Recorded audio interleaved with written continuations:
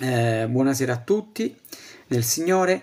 Vi faccio un sunto della live di ieri, ok? Abbiamo parlato sempre per quanto riguarda la pienezza dello Spirito Santo. Quindi abbiamo visto che la salvezza è la santificazione attraverso la confessione dei peccati. Abbiamo visto queste due cose importanti. Quindi ieri abbiamo esplorato a fondo prima Giovanni eh, capitolo 1 dei versetti 7, 8 e 9. Ok? Eh, concentrandoci sull'importanza della salvezza per grazia e del processo continuo di santificazione, cioè consacrazione, ok? Diciamo così, consacrazione. 1. Abbiamo visto quindi la realtà del peccato. In 1 Giovanni capitolo 1 verso 8 ci viene ricordato che in questa vita è impossibile essere completamente senza peccato. Apro una parentesi, non sto dando la licenza a peccare, per chi pecca volontariamente se lo Spirito Santo dopo un po' di tempo lo lascia, goodbye, non c'è più ritorno. Ok? Quindi state attenti. Ok? Quindi cercate di capire bene questo meccanismo. Quando ci fa riflettere sulla nostra natura umana e sulla necessità, ok? Continua eh, praticamente eh, la scrittura a dirci di rimanere vigili nella nostra, eh, diciamo, eh, comunione con il Signore ok? Di camminare con il Signore. Poi il perdono e la purificazione dei peccati coscienti, questo è importante. Allora, la Bibbia ci dice che chi, è, chi dice di essere senza peccato non è nella verità e vorrebbe fare bugiardo Dio, perché? Il peccato è quella condizione grazie alla quale del sacrificio di Gesù Cristo che è salito in croce che è morto per i miei peccati, quando io ho creduto questo con il cuore, il mio corpo del peccato è stato crocifisso con Cristo e l'ho lasciato nelle acque, grazie al sacrificio di Gesù Cristo. Ok, però la, la, natura peccaminosa rimane sempre dentro di noi. Ma quello che Dio ci chiede, ecco, quindi la prima eh, fase per la pienezza dello spirito è la purificazione, quindi il perdono è la purificazione dei peccati coscienti. Abbiamo visto in 1 Giovanni capitolo 1 verso 9 che il Signore ci offre il perdono e la purificazione da ogni ingiustizia che noi abbiamo commesso e i nostri peccati coscienti. L'ingiustizia sono i nostri, le iniquità sono i nostri peccati di cui noi siamo a conoscenza. Quello il Signore ci perdona se noi chiaramente li confessiamo a Dio e ci pentiamo e chiediamo un proposito a Dio di non farli più, quindi chiediamo il dono del ravvedimento su quei peccati, ok? Quindi è fondamentale non trattenere nulla di peccaminoso nel nostro cuore. Oggi ancora siete in tempo. Ma portarlo davanti a Dio con sincerità e pentimento. Non dobbiamo lasciare nulla di incontaminato nel nostro cuore. Dopo vediamo perché non dobbiamo lasciare, lasciare nulla di contaminato nel nostro cuore. Vediamo perché.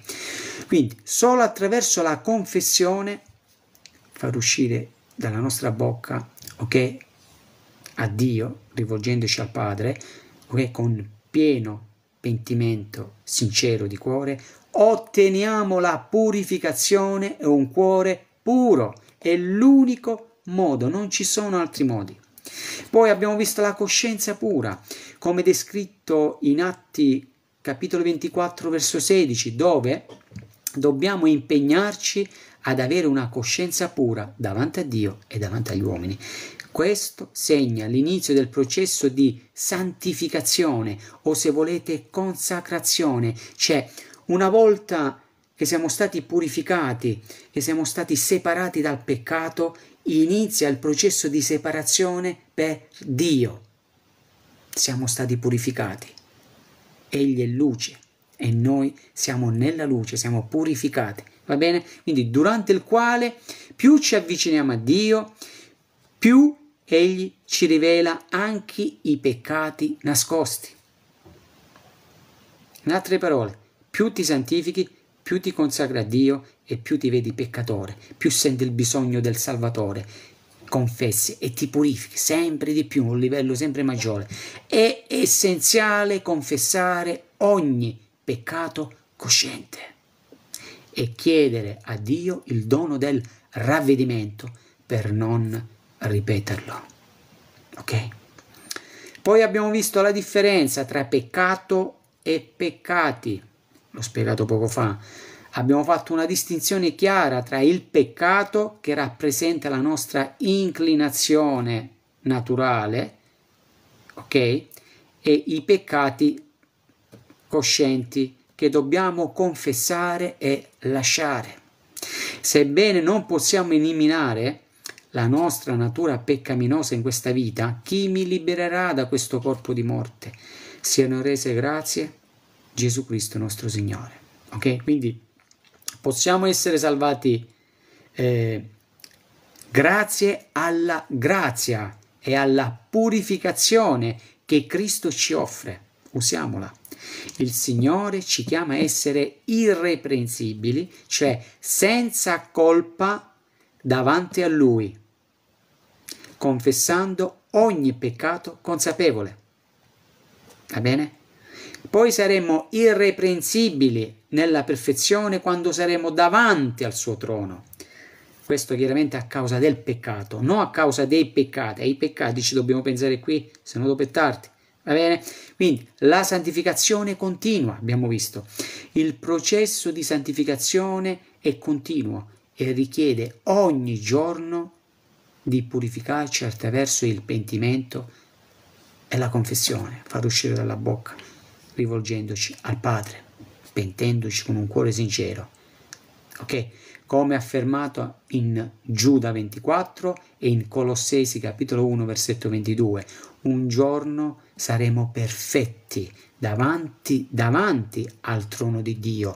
Ma oggi il nostro compito è vivere nella santificazione quotidiana, lasciando che il Signore ci purifichi il nostro cuore da ogni peccato.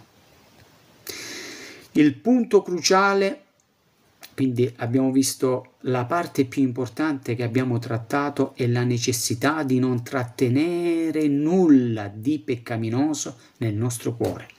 I peccati coscienti devono essere confessati e abbandonati affinché possiamo vivere con una coscienza pura davanti a Dio e davanti agli uomini. Questo è il cammino verso l'irreprensibilità, una condizione che possiamo raggiungere solo attraverso la continua opera di santificazione del Signore.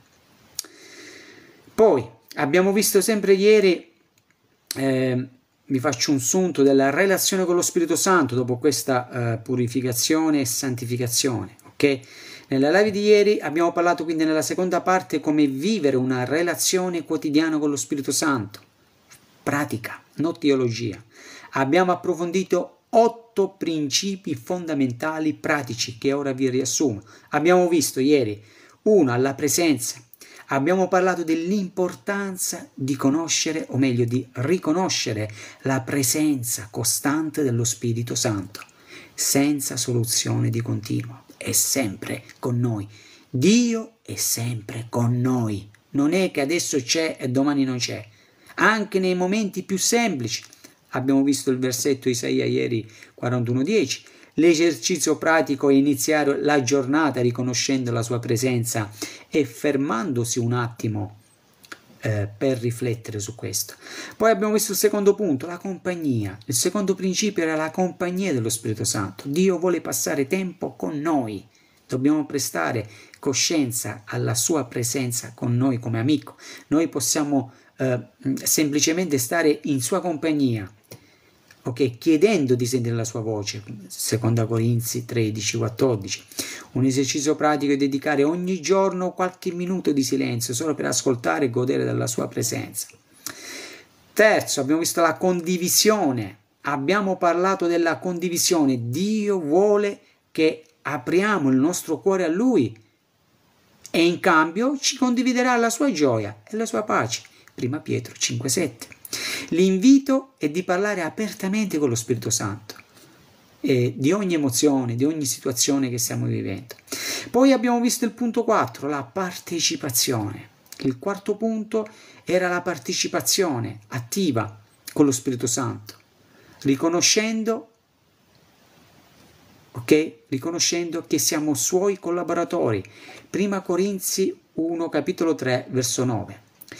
E il consiglio pratico è di mh, mm, eh, coinvolgerlo in tutto ciò che facciamo, chiedendo il suo aiuto e guida in ogni attività. Quindi eh, il successo è invocare lo Spirito Santo, invocare.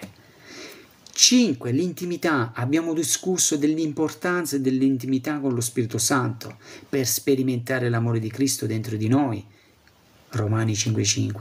L'esercizio pratico è prendere un momento di preghiera personale chiedendo allo Spirito Santo di riempirci del suo amore e dandoci questa rivelazione. Poi abbiamo visto il punto 6, l'amicizia. Il sesto punto era l'amicizia con lo Spirito Santo. Lui desidera diventare il nostro migliore amico. Leggi Giovanni capitolo 15 verso 15. Qualcuno con cui possiamo confidare ogni aspetto della nostra vita. Il suggerimento è trattarlo come un vero amico, condividendo con lui i nostri segreti e pensieri. Poi abbiamo visto il penultimo punto, il comandante, il capo. Lo Spirito Santo è anche il nostro comandante, la nostra guida amorevole. Romani capitolo 8, verso 14, ci guida verso le scelte giuste, ma dobbiamo chiedere la sua guida prima di prendere decisioni importanti. L'esercizio pratico è fermarsi e chiedere consiglio su cosa fare, dove andare. Ok? Ultimo punto è la rivelazione. Infine abbiamo parlato della rivelazione delle scritture. Lo Spirito Santo ci ricorda, ci rivela la parola di Dio, Giovanni 14, 26. Quindi l'invito è di chiedergli di guidarci nella lettura della parola per comprendere appieno i suoi insegnamenti e lui ce li soffierà nel momento in cui noi glielo chiediamo, quando lui ritiene giusto farlo. In conclusione abbiamo visto come questi otto principi possono aiutarci a vivere ogni giorno una relazione più profonda con lo Spirito Santo. Ora, mentre passiamo alla live di oggi, possiamo mettere in pratica uno o più di questi esercizi per sperimentare davvero la sua presenza nella vita quotidiana. Bene, Dopo aver fatto questa conclusione della live di ieri, che è importante, era propedeutica a questa, perché non l'ha vista, e vi consiglio di guardare il video che ho postato, l'ultimo video che ho postato perché è importante. Siete pronti per la vostra Pentecoste personale? Siete pronti? Attenzione, per ricevere la vostra Pentecoste personale, questa sera ricevete delle rivelazioni importantissime dalla scrittura. L'ascensione di Cristo nel cuore del credente. Molti negano che Cristo non si riceve. Questi non hanno mai ricevuto il battesimo dello Spirito Santo, persone che dicono queste. O forse non erano ripieni di spirito. Quando qualcuno mi ha detto che Gesù non si riceve nel cuore, c'è scritto in Giovanni capitolo 1, e a quanti lo hanno ricevuto, egli, Dio, ha dato l'autorità di diventare tecna, bambini di Dio, e ha inviato lo spirito del figlio suo che ci fa gridare Abba, Padre, lo spirito del Signore Gesù Cristo l'abbiamo ricevuto. Dio è spirito, c'è un solo spirito. Quindi leggete le scritture. Se volete veramente fare la Pentecoste, dovete capire come far ascendere Cristo nel vostro cuore verso una potente Pentecoste personale. E questa sera, se veramente aprite gli occhi, il cuore e la mente al Signore Gesù Cristo, chiedete allo Spirito Santo di darvi intendimento e sperimenterete la Pentecoste personale. Gesù, dopo aver portato a termine la sua opera di redenzione sulla croce, morì e fu sepolto, e il terzo giorno è stato risuscitato dai morti, cosa ha fatto? È vero che è stato lì con i, con i discepoli 40 giorni, eccetera, ma poi cosa ha fatto? È rimasto lì? No, Gesù è qui? No, è asceso al cielo e si è seduto alla destra del Padre. Da quel momento cosa è successo? È successo la sua glorificazione. Nel Vangelo ci dice che molti avevano creduto in lui, però non avevano ricevuto lo Spirito. Perché? Perché ancora Cristo non era stato glorificato. Se non c'è glorificazione, non c'è Pentecoste. Ma Cristo, prima di essere glorificato, ha dovuto ascendere al cielo, alla destra del Padre, pregare il Padre e inviare lo Spirito della promessa. Questo è quello che deve succedere nel tuo cuore se vuoi la Pentecoste. Va bene? Se no la fai solo a livello emozionale o nei filmini della tua mente, ammesso che la, la chiedi al Signore. Quindi da quel momento la sua glorificazione ha aperto la via per il dono più straordinario dopo la salvezza, lo Spirito Santo. Ma questo non è solo un evento storico, è una realtà vivente. Lo Spirito Santo, quando avete creduto, vi ha sigillati con lo Spirito, siete stati sigillati con lo Spirito. Ma quando avete creduto, avete ricevuto lo Spirito, non è inteso al sigillo, altrimenti non avreste creduto. Perché in Efesini, capitolo 1, verso 13 dice, eppure voi, dopo aver ascoltato il Vangelo della vostra salvezza e aver creduto, siete stati sigillati con lo Spirito Santo. Quindi è chiaro che quando ascolti e credi, vieni sigillato. Ma un conto è aver ricevuto lo Spirito Santo. Attenzione, è una realtà vivente che deve accadere nel cuore di ogni credente. Se non hai ancora sperimentato la tua personale Pentecoste, potrebbe essere perché Cristo non è ancora glorificato nel trono del tuo cuore. La scrittura ce lo dice, santificate Cristo nei vostri cuori e questa è l'ascensione. Se non glorifichi Gesù Cristo nel tuo cuore, lo Spirito Santo non ti riempirà. Ok? Stai trattenendo il Re fuori dal suo regno del tuo cuore? Romani capitolo 12 verso 1. Il primo passo dopo che ti sei purificato di quella live che abbiamo fatto ieri, che ti ho fatto il sunto adesso, e il secondo passo è questo è. Ora vi do una rivelazione scioccante quando sono andato sul testo greco stamattina. Quando dice Romani capitolo 12 verso 1, aprite le orecchie, ci scuote Romani capitolo 12 verso 1 ci scuote. Perché lì ci dà il nostro personal ministerio. Tu hai un ministerio. Ok? Ci scuote. Vi esorto dunque, fratelli, per la misericordia di Dio, a presentare i vostri corpi in sacrificio vivente, santo e accettevole a Dio. Questo è il vostro culto spirituale. Un'offerta a metà? No, non si tratta di un'offerta parziale o tiepida. Dio vuole tutto il tuo cuore, tutto il tuo corpo, tutta la tua anima. Quando sono andato sul testo greco, quando dice di prestare eh, culto a Dio con il nostro corpo come sacrificio spirituale, sta parlando che tu hai un ministero per Dio, per presentare il tuo corpo come culto spirituale.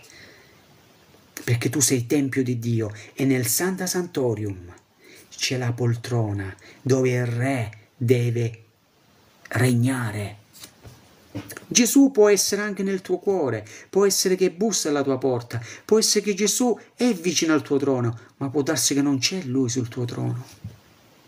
C'è del peccato, c'è qualche idolo.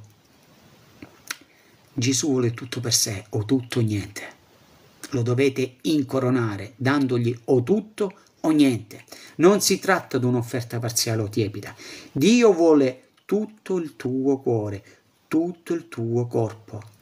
Prestare culto a Dio, dice, è un ragionevole, ok, ragionevole culto spirituale.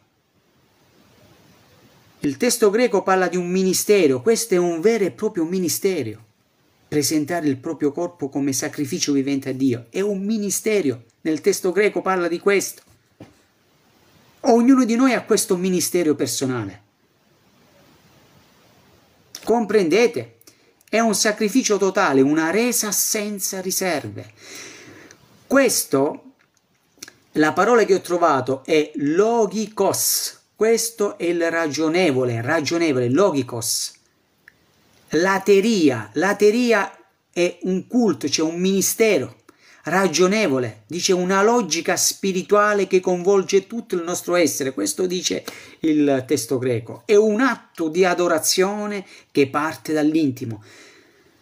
Questo mi ha portato oggi davanti al Signore a fare un patto con Lui di impegnarmi davanti al Signore e di rendere culto, di rendere il mio ministero del mio tempio affinché non sia contaminato davanti a Lui. Però ho detto Signore, però ti chiedo di non tenere conto per i miei errori perché posso sbagliare. Ma ho preso questo, io ho fatto questo patto.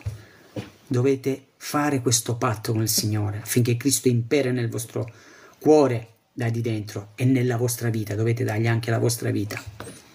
Ok? E vedrete se non si apriranno le cataratte del cielo e fiumi d'acqua viva che scaturiscono dal trono di Dio e dall'agnello, che si riversano dentro di noi e fuoriescono, scorgeranno dal nostro seno in quanto noi abbiamo creduto in Lui.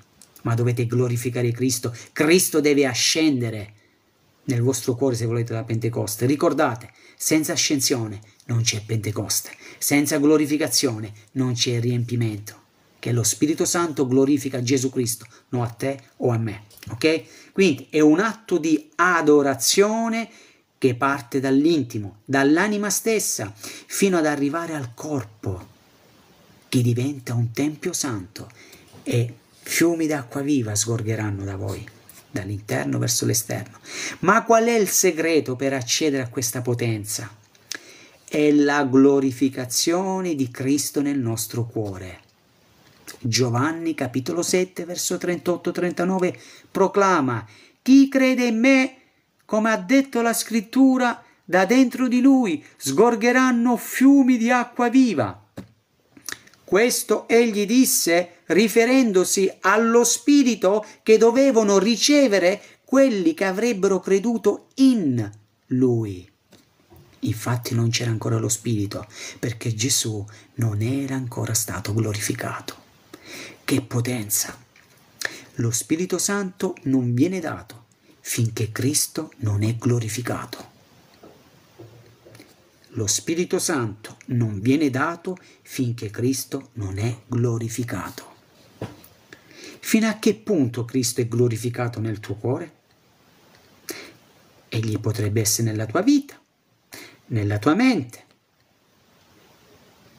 ma ha preso il posto sul trono del tuo cuore?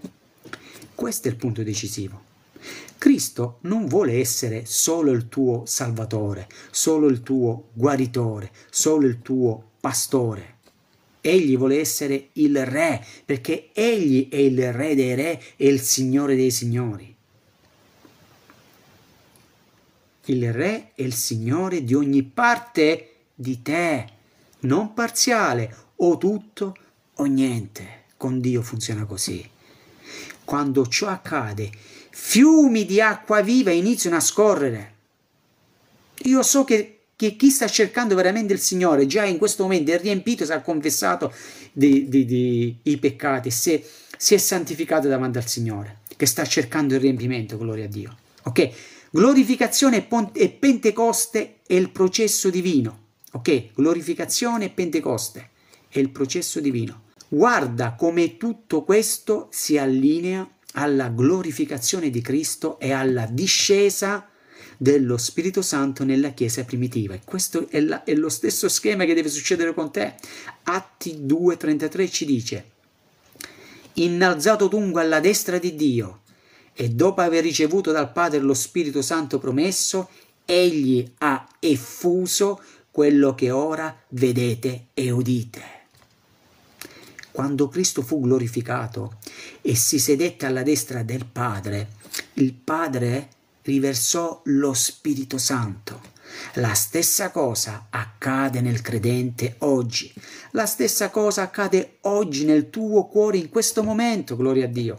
Quando Cristo è innalzato nel tuo cuore, nel nostro cuore, e quando tu lo glorificherai, quando noi lo glorifichiamo, lo incoroniamo re su tutto il nostro essere. Signore, io voglio che tu sia il re non solo del mio cuore, ma di tutte le fibre del mio essere, di tutta la mia vita. Signore, prendi tutto, una totale arresa, arresa totale del nostro essere. Allora lo Spirito Santo viene riversato in potenza e fiumi d'acqua viva che rappresentano la vita, la potenza e la guida dello Spirito Santo iniziano a sgorgare dalla tua vita, trasformandoti dall'interno.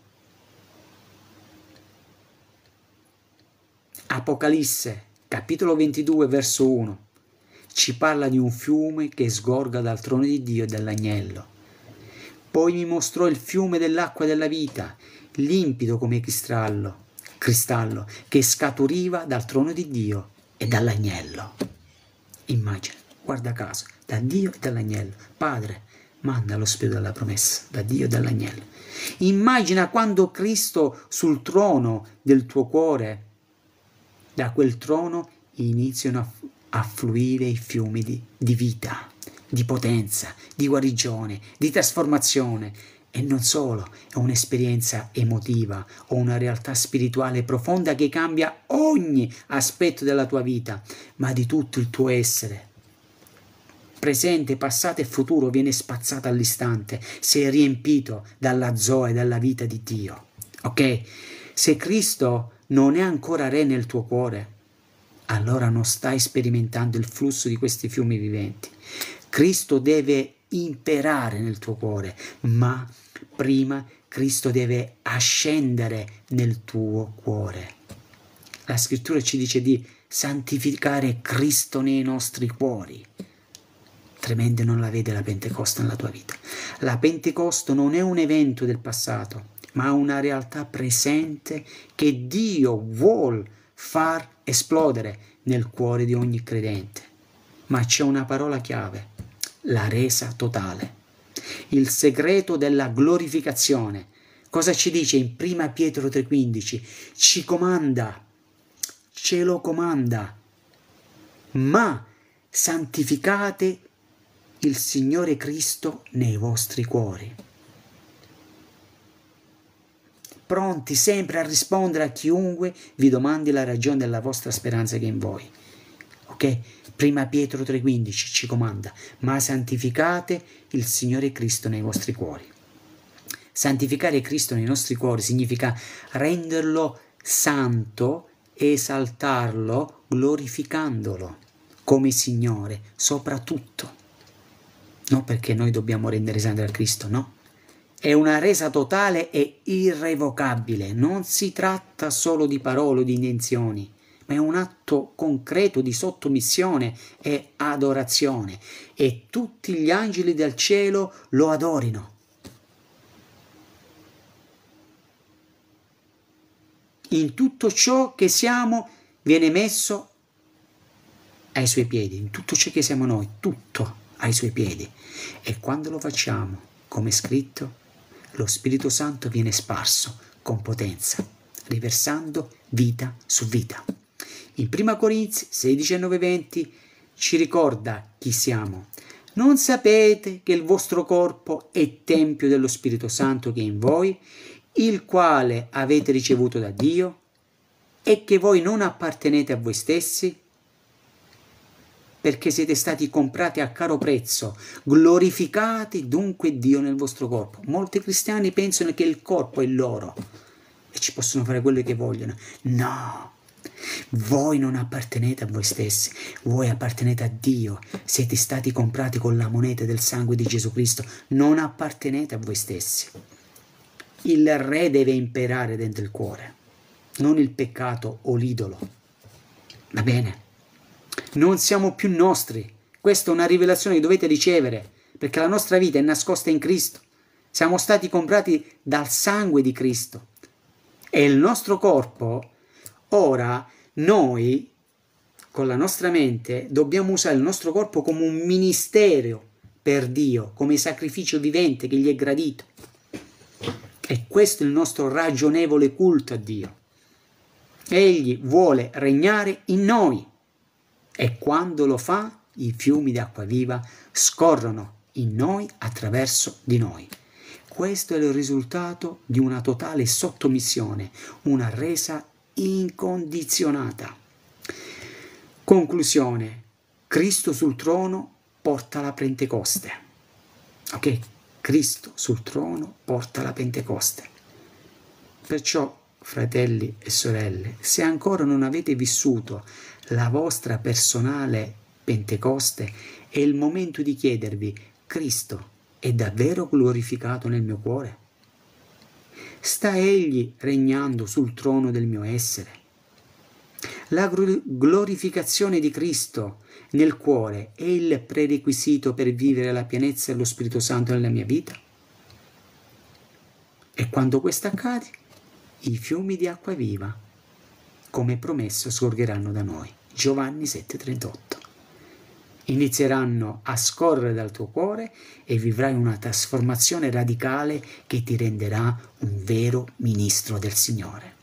Non aspettare oltre, glorifica oggi stesso Cristo nel tuo cuore dopo la live, in ginocchio, buttati a terra, fallo ascendere sul trono della tua vita, arrenditi completamente a Lui e guarda come i fiumi di acqua viva iniziano a sgorgare portando vita potenza e trasformazione. Questa è la tua Pentecoste, la tua Pentecoste. La stessa potenza che trasformò gli apostoli è disponibile per te, qui e ora. Ma ricevilo, ricevilo, ricevilo per fede. Perché sta scritto in Cristo Gesù che noi ricevessimo per mezzo della fede lo Spirito promesso. Leggi Galati 3:14. Per fede. Per fede. Ma se ti dovessi chiedere, ma io non ho un ministero particolare, innanzitutto già c'è il ministero del tuo corpo, perché non è più il tuo corpo, ma è il Tempio di Dio. Sei stato comprato a caro prezzo. E il cuore è il trono del Signore Gesù Cristo. Comincia a fargli spazio, perché tu non appartieni a te stesso che tu hai già un ministero che è il culto che devi prestare a Dio sul tuo corpo. Santificare Cristo nel tuo cuore. Quindi devi essere libero da ogni peccato, interiore ed esteriore. Ok? Quindi già ce l'hai un ministero, santificare il corpo, santificare Cristo nel tuo cuore. Questo è il primo ministero che hai. Uno. Poi ti voglio dire una cosa, in Atti capitolo 6 verso 3, anzi verso 2, ascoltate un attimo. I dodici, convocata la moltitudine dei discepoli, dissero, non è conveniente che noi lasciamo la parola di Dio per servire alle mense. Pertanto, fratelli, cercate di trovare fra di voi sette uomini i quali abbiano una buona testimonianza e pieni di spirito, ai quali affideremo questo incarico. Cioè, in altre parole, hanno trovato, e uno di questi era Stefano, dovevano essere ripieni di spirito per servire alle mense. Ma vi rendete conto? Quindi di che cosa hai bisogno tu come ministero? Fammi capire, per ricevere. Ok? Quindi Atti capitolo 6 verso 3, verso 3 si ricercarono persone piene di Spirito Santo per il seguente servizio, attività pratiche amministrative, mm, servire alle mense, eh, ai poveri, aiutare gli anziani, eccetera. Devono essere pieni di Spirito Santo. Se tu sei un cristiano nato di nuovo, non puoi non testimoniare di Cristo. E Gesù Cristo stesso ha detto, Gesù Cristo stesso ha detto, sarete miei testimoni e dobbiamo ricevere la potenza dall'alto. Capitolo 1, Atti, verso 8. Questo è solo l'inizio. Dopo devi ricercare continuamente il riempimento dello Spirito Santo, questa fresca unzione, ogni giorno. Se vuoi pregare e ti vuoi accostare alla parola di Dio, vuoi ascoltare la sua voce, vuoi mh, appropriarti delle promesse di Dio, lo vuoi lodare, lo vuoi adorare per chi Egli è, come tuo Signore, personale Salvatore, beh, sappi che hai bisogno di essere riempito di Spirito, poiché è un comandamento e Dio non vuole darci degli optional, Dio ci dà i comandamenti, non degli optional. Ricorda bene queste parole che ti dico. Purificazione, santificazione, chiedi, ricevi per fede. Queste cinque cose. E riceverai la promessa dello Spirito Santo per essere riempito continuamente del suo Santo Spirito. Quali sono gli ostacoli per la pienezza? Uno, mancanza di purificazione. Secondo ostacolo, mancanza di consacrazione, quindi santificazione. Terzo scoglio, ostacolo, mancanza di conoscenza di questa promessa, perché non la conosci e non la chiedi e quindi non la ricevi. Quarto ostacolo, non sai ricevere, perché oltre a non chiedere, chiedi male. Punto 5. Incredulità alla fede. Quindi togli questi scogli alla pienezza e purificati, consacrati a Dio, chiedi il dono della promessa ricevilo da Dio che già te l'ha preparato per fede. Ok? Richiamando alla necessità di una resa totale per sperimentare la pienezza dello Spirito Santo nella vostra vita è essenziale. Buona Pentecoste a tutti. Io vi ringrazio di avermi ascoltato. Vi chiedo, vi chiedo, quando finite di guardare questa live, inginocchiatevi, buttatevi a terra chiedete perdono di ogni peccato consapevole, confessatelo a Dio. Chiedete allo Spirito Santo di purificare i vostri cuori con il sangue di Gesù Cristo, pentendovi, e chiedete al Padre di concedervi il dono del ravvedimento su questi peccati. Dopo avete fatto questo, consacratevi a Dio. Preghiera, lettura al Signore, il regno di Dio, evangelizzazione, tutto, tutto, tutto Dio, dentro e fuori di noi. Glorificate Cristo nei vostri cuori, santificate Cristo nei vostri cuori, fate ascendere Gesù dopo che avete purificato e consacrato il vostro cuore al Signore. E quando Lui si siede come si siede, impera. E come impera, fiumi d'acqua viva scorreranno dal vostro cuore.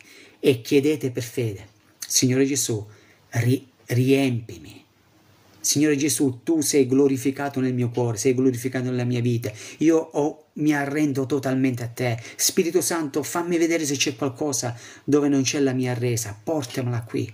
Vado al Padre e la confesso. E chiedete a Gesù di riempirvi col suo Santo Spirito. Ogni giorno chiedete quest'unzione e ogni peccato non deve avere, non deve avere la possibilità di attaccare dentro di voi. Come dice il Signore Gesù, Satana non ha nessun potere dentro di me. Togliete il peccato, purificatevi, consacratevi, glorificate e santificate Cristo nei vostri cuori. Chiedete e ricevete per fede. Gloria a Dio, questa è una promessa per voi, per i vostri figli e quanto ancora il Signore ne chiamerà. Il battesimo dello Spirito Santo una volta sola, il riempimento e l'unzione è ogni giorno ogni giorno. Gloria a Dio. Leggete il libro degli atti. Il Signore vi benedica e che vi riempia del suo Santo Spirito. Ogni persona che ha visto questa live o che vedrà questo video. Perché non dobbiamo perché dobbiamo vivere sempre nel mistero? Mistero. Eh, infatti noi dobbiamo vivere nel mistero. Noi dobbiamo camminare per fede, non, non, non per mistero. allora, gloria a Dio. Allora, chi non comprende non potrà mai capire l'essere meraviglioso che è Cristo e di quanto si sta bene. Gloria a Dio, amen. Amen. In ginocchio davanti a Dio, gloria a Dio, appartiene a Lui. Arresa, arresa totale, santificate Cristo nei vostri cuori. Nulla di nascosto deve rimanere nei vostri cuori. Nessun peccato consapevole deve rimanere nascosto. Nessuno, nessuno, perché Cristo non può sedersi dove c'è del peccato, perché Egli è luce e in Lui non ci sono tenebre. Vorrei trovare persone piene di Spirito Santo, vorrei trovare persone piene di Spirito Santo. Beh, eh, Azzurro, eh, il primo che deve essere pieno di Spirito Santo sei tu. E fate questo patto con il Signore, fate veramente un patto con il Signore di rendere culto del vostro eh, tempio che è il corpo, che non è, non è nostro questo tempio, ok? Il nostro è un ministero di rendere culto nello Spirito al nostro Dio del nostro corpo che è il Tempio dello Spirito Santo, santificando Cristo nei nostri cuori. Ok, un bacione a tutti e il Signore vi benedica.